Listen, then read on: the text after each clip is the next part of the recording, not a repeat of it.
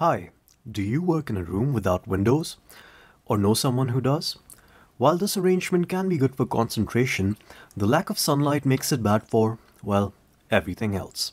But if you were born sometime in the past 200 years, checking a clock without getting distracted is probably second nature to you.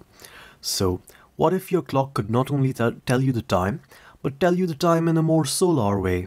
A countdown, accurate to the minute, of each action in the sun's daily and yearly path, and do all this and more without the hassle of connecting to the internet.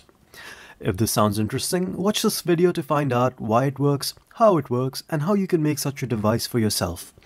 But be well prepared because this project leads down a fascinating rabbit hole of astronomy, timekeeping, history, folklore, and a whole lot more. All the source code and PCB design files can be found on GitHub. The links are in the description below. You can also use timestamps to skip between sections. But before moving on, a quick shout out to the sponsor of this project's PCBs, PCBWay. PCBWay offers custom PCB prototyping and assembly in addition to 3D printing and CNC services. Just upload your files and use a variety of materials and some seriously cool colors and they take care of everything else. They also have a pretty good Gerber file viewer which helped me a lot with this design. So thank you PCBWay for sending me these amazing PCBs. So how can a device tell where the sun is in the sky without any external communication and without actually looking out the window? It turns out this problem is actually a really old one. So old, in fact, that the oldest mechanical computer we know of, the Antikythera mechanism, was also built to solve pretty much the same problem. Like my own device, it did not and could not connect to the internet, but it still predicted astronomical positions and eclipses decades well in advance. It could use its mechanical gears to perform a series of mathematical calculations to tell you exactly what you needed to know, such as the date of the next lunar eclipse or when the next Olympic Games would start. The most rudimentary way of making such predictions was to simply observe and note down the positions of celestial bodies like the Sun or other stars at fixed intervals of time. This is in fact how some of the earliest forms of astronomy were practiced, notably by the ancient Babylonians. They made extensive tables for celestial positions over long periods of time, and combined with some pretty sophisticated arithmetic, these allowed them to predict and then later confirm that some celestial phenomena are actually periodic in nature. For example, the appearance of Venus in the sky and the 18 year long cycle of lunar eclipses. While Babylonian astronomy was concerned mostly with date and timekeeping, the idea of using mathematics and especially geometry to not only study but to also predict and explain the working of the cosmos would actually arise in ancient Greece. At first, they too were concerned with measurement problems like quantifying the length of a solar year and the variations in daylight over this year, as well as things like variations in shadow lengths over the course of a single day. But the questions that seem obvious and natural to us today weren't quite as obvious until someone in ancient Greece tried to explain the mysterious workings of certain unusual stars by using geometry, specifically using a set of inclined concentric spheres. You see, unlike the average star in our night sky that moves in a simple predictable arc, some deviant stars seem to stop moving and in fact travel backwards every now and then. Even though this solution turned out to be not quite accurate by today's standards, it was still one of the earliest demonstrations of the use of mathematical tools to solve specific astronomical problems. This set off a frenzy of more astronomy and more mathematics arguing about the correctness or incorrectness of such models, and if mathematical models could even be used to explain the working of the cosmos in the first place. But even if the more abstract questions weren't settled, and some still aren't, pretty much all the mathematics required for this project seems to have already been developed around this period. Thankfully, nowadays there are so many great resources from where we can learn this math, such as this NOAA website that contains both example spreadsheets as well as this nice PDF that sums up all of this ancient knowledge along with some modern updates in a mere page and a half. But knowing the correct math is only one part of the project. The other part, that is actually knowing the correct time, is a problem that is far more complex and relies upon a piece of engineering that is surprisingly recent. While the history of timekeeping itself is older than written history, it seems that the history of precise timekeeping is astonishingly young, far younger than that of either astronomy or computing. It is a fascinating story that is well beyond the scope of this video, but for all people interested in history of engineering, here is a brief explanation of the parts relevant to this project. Apparently, the first person in the entire history of civilization to notice that pendulums could be used to keep track of time was Galileo, all the way into the late 1400s. He made a prototype before he died, but it would be roughly another 200 years until Christian Huygens invented the very first practical pendulum clock. As a result, people were now able to measure individual seconds for the very first time in human history. The pendulum clock was so radical that all practical timekeeping technology made since then still uses the very same principle of using harmonic oscillations to track the passage of time.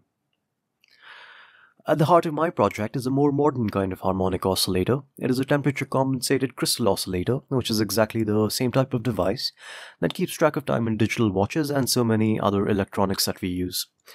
Typically, this version draws less than a microamp on standby, so I can keep a precise track of the time for a long um, time with just its regular coin cell. I then use an RP2040 microcontroller on the Pi Pico to read this time and knowing my location have it tell me exactly where the sun is in the sky at all times of the day and all days of the year. All information gets displayed in a visual manner since I have this entire 3.5 inch LCD module to work with. It has a resistive touch overlay so I can cycle through an array of different screens each with its own unique mix of information or use it to change settings on the fly or just set it to cycle screens automatically. For any of the screens, I can also see past times or future times. For most of the day, I like to have it display the screen that shows me two very important things that help me be more mindful of time. The first is a countdown to the next event in the sun's daily cycle. It shows me the name, the hours and minutes left, and the actual time of the event.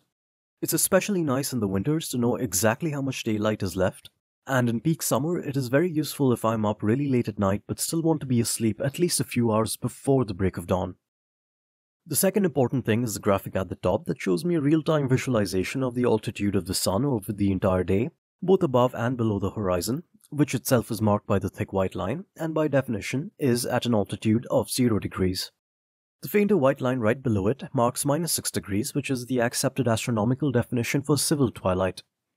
So when the geometric center of the sun is between these two lines, that is the period we call twilight. And extending that logic, when it dips below minus 6 degrees, it is completely nighttime, and when it rises above 0 degrees, it is completely daytime. Overall, the point of the screen is to function as a kind of progress bar for the day that I can just glance at really quickly without having to get distracted from whatever I happen to be doing.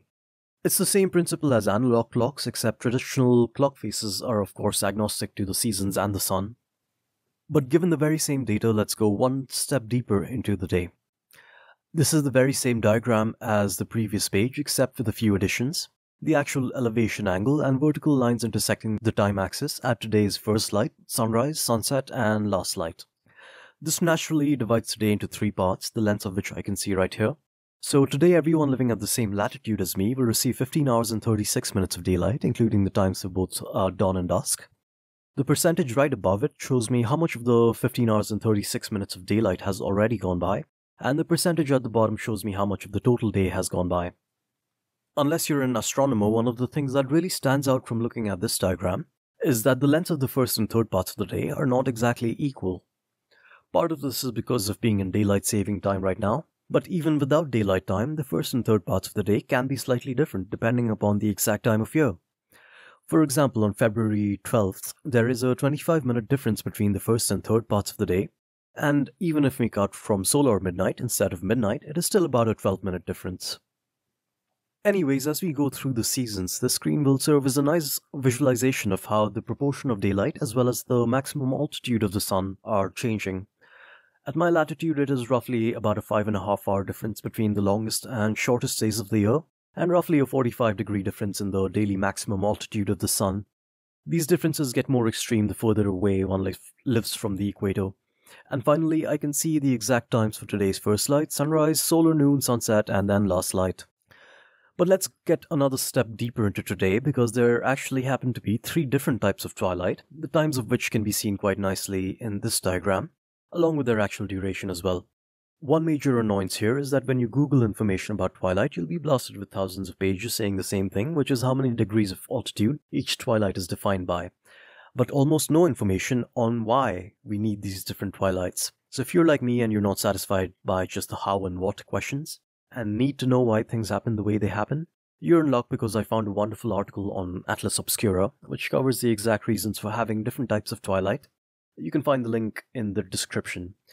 But coming back to the diagram, it was interesting to find out that in addition to the actual proportion of daytime and nighttime, the length of the different twilights also changed noticeably throughout the seasons. There is a 20 minute difference in dusk and dawn each between the longest and shortest days of the year. The difference is more pronounced the further one lives away from the equator. So, like me, if you've ever felt like it gets dark far too quickly in the winter, now you know that's because it actually does a bit. The next screen shows me how the sun will appear physically from my point of view over the course of the day. I can compare it to the yearly highest and lowest angles for solar noon, which is 76 and 28 degrees for my latitude. It also shows me the minimum and maximum altitudes of the sun today, although the minimum altitude is below the horizon, so I can't exactly see it in this diagram. Uh, while the screen doesn't show me any fundamentally new information compared to the previous ones, I still really like the visualization, which by the way is my original artwork and kind of looks like Cyclops from X-Men. But moving on, if I really want to know exactly what the sun is doing outside, one more piece of information is needed, that is what direction the sun is currently in. In the horizontal coordinate system, this is called the azimuth, it is the same basic concept as compass bearings. It tells you the angular distance from a known reference point, in this case true north. So at my specific location looking top down with north at the front, I know that the sun will rise and set on the horizon at these specific positions today. The grey labels along the perimeter mark the times of which the sun will be at those specific angles. The highest and lowest angles for sunrise and sunset over the entire year are also shown on the perimeter by the white markers. This way I can get a nice visual representation of the uh, relative orientations of Sun and Earth over the entire year. The Sun icon of course marks which direction the Sun can be found in at this specific moment. What's really interesting about the azimuth angles is that they're the reason the clockwise direction is actually clockwise. Because if you use the sundial in the northern hemisphere, this is the direction the shadow would rotate in over the course of any given day. This is a neat diagram, but I can make it even better by combining it with the previous one to show me both the altitude and the azimuth at the same time.